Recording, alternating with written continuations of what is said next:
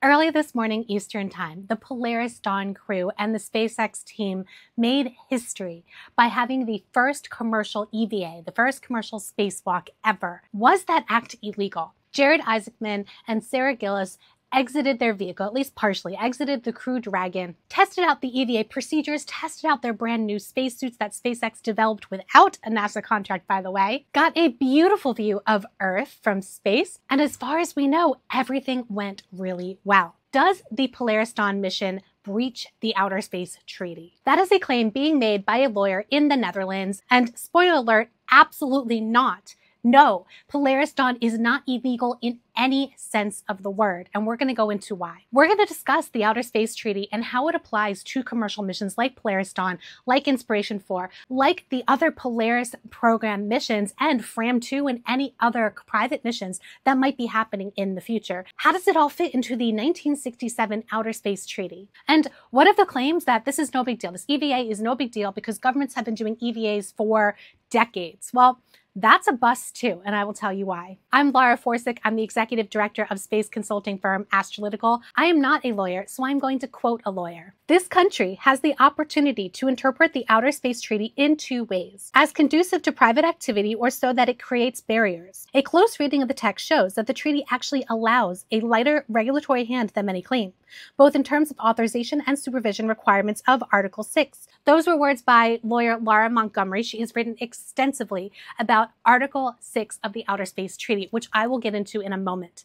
But that is the issue here, is that when the Outer Space Treaty was written and signed, there were no private entities that were involved outside of governments. It was entirely government led, as it has been, as space has been for decades now. We are entering a new era of commercial spaceflight that is outside of government missions. And this apparently scares some people because some people believe that private missions in space should be heavily regulated, such as Tommaso Sgobba, and I apologize if I mispronounce your name. He's the executive director of the International Association for the Advancement of Space Safety in the Netherlands. He gave an interview with Al Jazeera English today in which he said that the Polaris Dawn mission, and specifically talking about the spacewalk, was illegal. And that's his word, illegal. This is a mission which violates Article 6 of the Outer Space Treaty, he told Al Jazeera. But does it? You will not find a lawyer in the United States that agrees with that statement because it is not true under US law. There is no law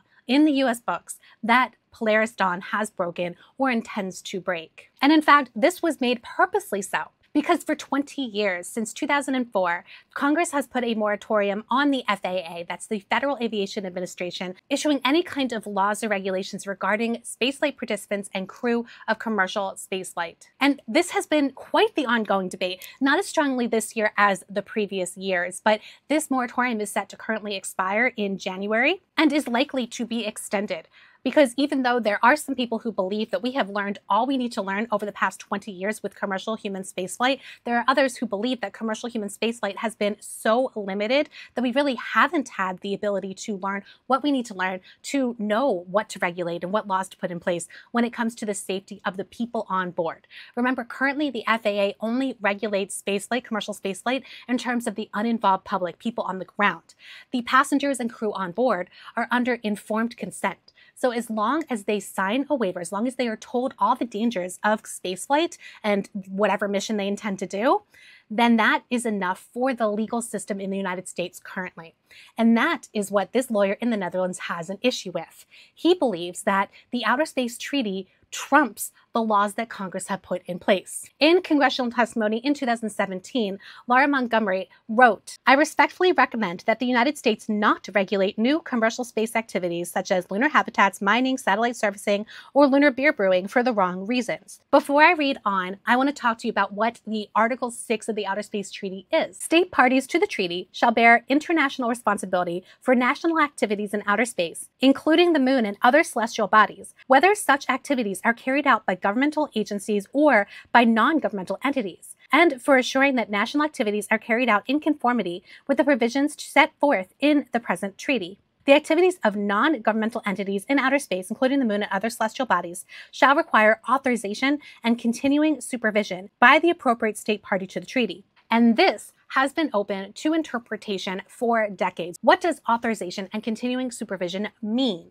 And does that mean, as I think Laura Montgomery has pointed out a few times, you know, humorously, does that mean that the government needs to regulate how commercial astronauts brush their teeth? Anything that the commercial industry or commercial private astronauts do in space. Continuing to read Laura Montgomery's testimony, she said, The treaty does not forbid private operators from operating in outer space. It does not say that either all or any particular activity must be authorized, leaving decisions regarding what activities require regulation to the member states. And finally, Article 6 is not, under U.S. law, self executing, which means that it does not create an obligation or a prohibition on the private sector unless Congress says it does. And I know Laura has written extensively about this subject, and I'm sure other lawyers in the United States and around the world have.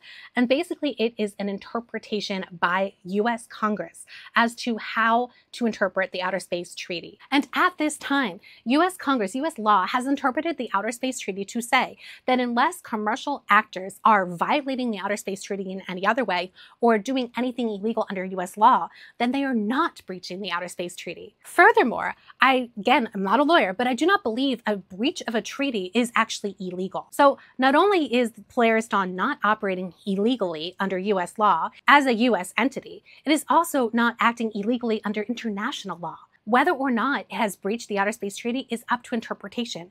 And US law and pretty much all US lawyers would agree that this is not the case. In the Al Jazeera English article, and by the way, I'm linking all of these articles and texts below, they did say several experts say that the US is in no danger of violating the Outer Space Treaty. They quote Ram Jakhu, and again, I apologize if I'm mispronouncing her name. He is the former director of the Institute of Air and Space Law at McGill University. They quote him as saying, There exist no internationally binding regulations that provide precise definition of this term and no international technical standards and procedure for effectively implementing this obligation. And by this term, he meant supervision. And while I don't expect a non space beat journalist to get everything correct, Al Jazeera English does say that Polaris Dawn was not regulated under US law, which is not true.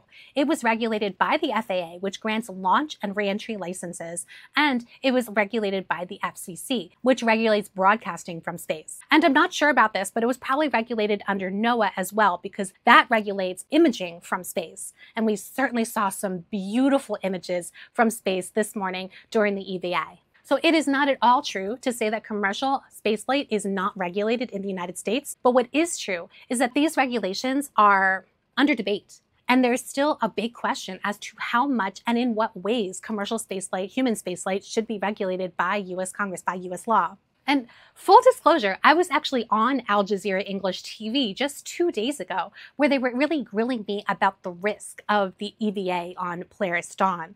And I was trying to explain to them that this is, yes, it's risky, but it's not overly risky. And here is why people, private individuals, are risking their lives to test this technology, to test these procedures. So I have a feeling that there's a little bit of an angle that Al Jazeera is trying to push here in this story. I will link that TV interview below. It's really brief. So on the one side, you have the mentality that commercial companies, commercial private astronauts need to be highly regulated by government because they can't be trusted. And on the other hand, you have people saying, so what that a commercial company and private individuals have done this, been there, done that for decades. This is nothing new, and EVA is nothing new. I remember that mentality popping up in 2021 when Virgin Galactic and Blue Origin had their first human missions to suborbital space. And I remember hearing from some people not in the space community, why is this a big deal? Governments proved suborbital human spaceflight a long time ago. The reason why anything that the commercial space industry does that governments have already done is because the commercial space industry operates differently. It needs to operate efficiently as well as safely. It needs to be quick, but not so quick that it risks the lives of its customers. It needs to have a profit eventually. And it wants to open it up to a mass scale. Governments have no real incentive to open up their astronaut corps, their government astronaut corps to large numbers of people, but private companies want to open up their customer base. So they want to have not just two people, Jared Isaacman and Sarah Gillis, do an EVA for a few minutes. They want to open it up so that more and more and more people can do missions like Polaris Dawn, can do missions like Inspiration 4, can do other commercial missions. I was just talking in my video yesterday, which you can watch here linked above, about how wealthy individuals, private individuals are opening up spaceflight in cooperation, in partnership with commercial companies for the masses, for more people to follow them. And that is why this makes a difference. This is why the Polaris Dawn spacewalk is so fundamentally different from government spacewalks because it was commercially run, because it was commercially operated, because it's commercial technology, and because it's intending to open up similar activities to large numbers of people safely and profitably. This is just the start because whether or not the moratorium on commercial human spaceflight regulation is extended or expires in January of 2025, we need to discuss what happens next. What regulations will the FAA or any other government body put in place on commercial spaceflight? And what are the U.S. obligations under the Outer Space Treaty? Rather than thinking about this black and white, this is allowed, this isn't, this is illegal, this is legal, think about it in terms of modernization and interpretation. How do we take the 1967 Outer Space Treaty and apply it to the 21st century? Apply it not just to 2024, but to all of the decades that will come after. Because we are just getting the ball rolling here. This is just the beginning.